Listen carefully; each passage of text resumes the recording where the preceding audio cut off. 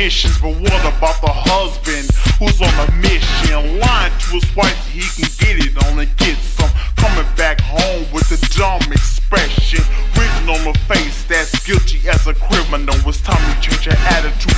People, do you hear me? Don't listen to a funky rhyme kicking knowledge that we need. We lie about our hair and we know we gotta weave. Politicians lie about the things they gonna do, and they rely to tell lies about the money that he stole. And I don't deal, I'll never tell you how he got his gold. I guess what Debbie T is really trying to say is when you break it all down, we really all the same. I live my life a different way, refuse to let myself.